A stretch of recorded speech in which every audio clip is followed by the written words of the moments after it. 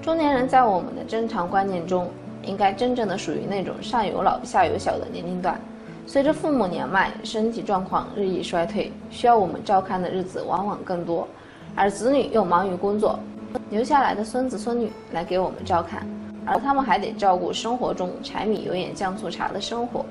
琐碎充实的生活慢慢充斥了整个婚姻生活。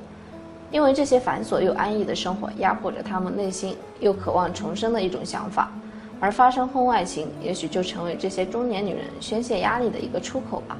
那我们来说一说哪一类男性更受中年女性的青睐呢？我们总结出三种：一、愿意给自己花钱的男人。对于女人来说，钱、衣服、外貌是足以能够给他们安全感的。何况人们都爱钱，更别说女人了。只要有了钱，他们就会拥有他们想要的东西。所以说，一个有钱的男人无形中就具有一种魅力，而这个有钱的男人还舍得为他花钱的时候，那么就更足以让中年女人为之动情了，那么婚外情就水到渠成了。二，愿意陪伴自己的男人，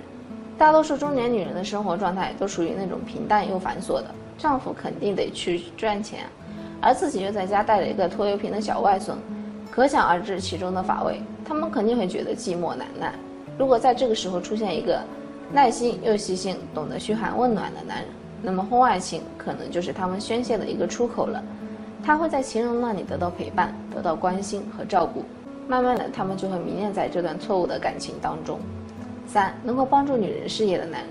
在中年女人这个群体中，有一部分是比较重视自己的事业和工作的，这些女人会比较想要在一个事业上能够帮助自己、带领自己的男人。